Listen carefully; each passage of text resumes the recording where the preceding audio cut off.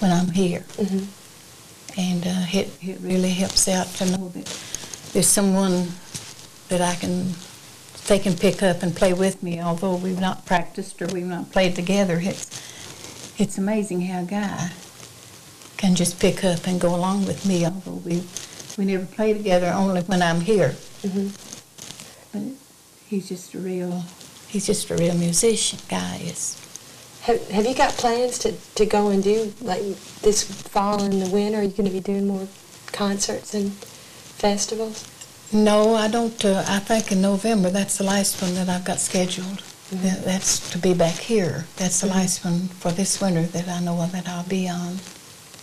But I've mm-hmm. traveled all over the summer. All summer I've been to Washington Festival. I left there and went to New Hampshire to their festival, and and then I went back home. And about two weeks later, I believe it was, I went to Massachusetts. Mhm. Do you like traveling? Yeah, I do. How do you like life on the road, being a musician? I love it. It's a lot different from what Oh. you did before. Yeah, it's a lot different. I, I love, I've always, Nancy, I've always wanted to travel and play music. That's why I would love for Daddy to have uh, quit the mines, but he would tell me, he said he'd rather work in the mines than anything ever done in his life. Although he loved music, he loved playing, and he and he just loved, we'd have Flannery reunions, and we'd get these big trucks and two or three of them, and we'd go top of the big black mountain, and the musicians would sit back next to the cab in the truck bed, and the dancers would dance up in front. Uh-huh. I was too small to get up in the truck so to dance. So when they, they all knew how I loved to dance, and I was just a child. But whenever they'd start that music, they would pick me up and set me up in that truck, and I remember it so well. They'd say, "Now go to it, Lois," and they'd start playing, and I'd start dancing. I've seen you dance with a cast on your leg. yeah, I honked on one foot. That Yeah. tickled everybody. Lois get hears the music start going. She starts going no matter what. Oh yeah. Well, what what kind of things like what did you do in the last few years before you started playing music? What what's it like living up in Closplint, Kentucky? Well, there's nobody back there that plays music the way I do. That that really would like to make their life, um, their living like that. There's Mhm. just nobody.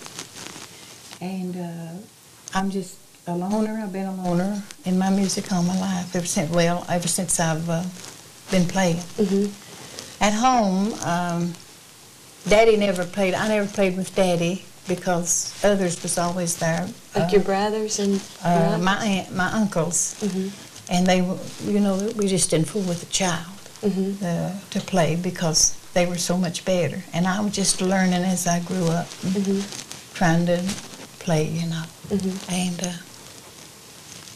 I, I played uh, after I married on, on up till Larry and Don got teenagers. I played by myself. hmm And you taught them to play too. Yeah, I taught them whenever they was too small to make a chord, Mhm. and I'd have to place, place their fingers on the frets, you know, and show them. And every day I made them practice. Then after they got up, they began, I taught them time, and then after they got to learning the chords and could make them on their own, then they, I guess they was just, had the talent and gifted to it too, and they just picked it up and went on. Mhm. And they are wonderful guitar players, each one of them. And they both live in Cincinnati. Mm-hmm. And Larry, he plays the piano. He plays by ear. He he he's just from one end of it to the other. Don't know the music. hmm But Don never did like the piano. He always liked the guitar. Do they like you being out playing music? They they're just they're just thrilled to death that all this this has come to me. They they just they'll say, "Mommy, you go on and uh, enjoy yourself, have a good time." And they're just they're just tickled to death for me. I can call them after I go back home on a trip. I call them, and they're just tell them all about my trip. You know, hmm they're just so happy for me. What What does the rest of your family think about it? The ones that live, like your sis, you got a sister that lives down the street from you? Yeah, uh huh. She uh, she keeps my little dog for me whenever I have to when I have to go away, and um, she she likes she she thinks this is nice that it's happening to me, hmm and she's willing to help me anytime. Keeping my dog for me, she'll help me all she can. Well, good. Tippy, Uh-huh. Yeah. Tippy's is her name. you want to play something on the guitar or banjo? Or how about a tune?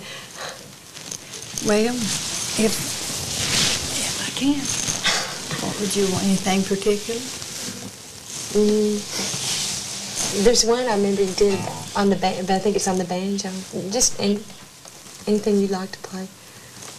What's your favorite song on the guitar? I don't have one. well, I don't have a favorite song.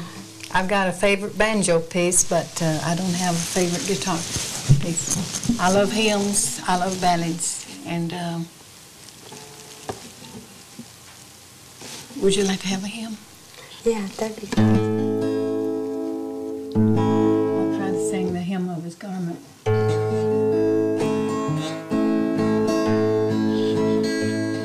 A1